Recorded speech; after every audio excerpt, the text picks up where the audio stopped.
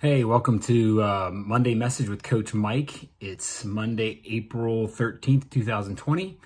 Um, and today we're going to talk about uh, part two of what is greatness and how we define it. Uh, last week we talked about what is greatness and how we define it and the characteristics that come along with the with greatness. This week we're going to talk about what greatness is not and those characteristics that come along with with that as well. So let's go ahead and get started. Number one, greatness is not genetic. We all possess the potential for greatness, but greatness itself is not an inborn trait.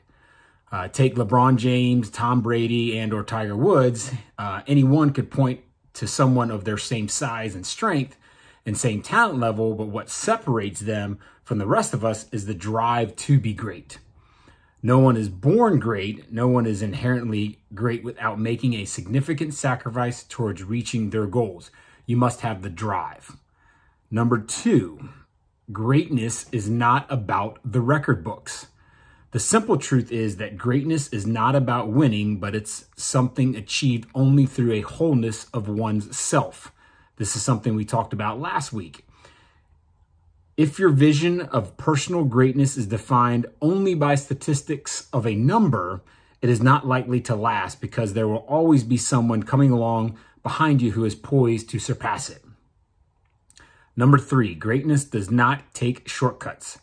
Greatness cannot be achieved by seeking a back door to success. Instead, greatness understands that improvement comes only through the repeated and deliberate work towards a goal. Just simply breaking a record does not make someone great. Adherence to discipline and dedication are what shapes a person into greatness. Number four, greatness isn't perfect. Great players have bad games. Great people have bad days. Flaws don't eliminate you from the pursuit of greatness. They make you human. Anyone who desires to be great must understand that failure, disappointment, and letdowns are a part of life. The great ones learn from those experiences and become stronger as a result.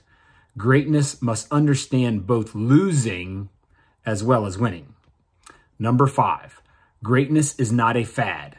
Greatness is not defined by one moment. There are plenty of one hit wonders out there, but greatness is defined by long lasting over time. Greatness is not defined by simply by simple by current values or trends, but it is proving to have staying power. Greatness is not something that is here here today and gone tomorrow. Greatness never goes out of style. Greatness transcends the moment to be lasting and timeless. Number 6. Greatness is not the same as fame. Some individuals never see their names on the front pages of news, but through quiet actions like parenting, mentoring, teaching, and giving, they touch the lives of those around them. Many people desire to be famous. Most are not willing to do the work required to become great. Fame is attention gained through a person public image. Greatness is a philosophy gained through the genuine manner in which a person lives his or her life. Genuine being the key word. So we only had six today, but a common theme of all these from this week and last week is the ideas is not necessarily greatness itself, but the pursuit of greatness. It is in the chase of this ideal that character development happens. It is development, thoughts, and behaviors of greatness begin to emerge. Pursuit of greatness does not happen through passivity, through wishing, or through half efforts and shortcuts. Greatness is both the goal and byproduct of its pursuit. So, again, hopefully, we've learned a little something about greatness. We all possess greatness. Um, we're not going to possess all 15 characteristics that we went through the last couple weeks, but it's something that we can certainly strive for. Uh, if we can kind of piece together some of these, we all make ourselves a little bit better, both in life and in the sport that we love to do.